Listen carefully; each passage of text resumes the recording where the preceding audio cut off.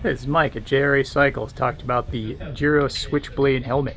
It's new for this season. It's got a lot of adjustability in here and back here. And what's really cool is that you, if you are on the trail and you want to, just pop this thing right out and all of a sudden got a whole new helmet.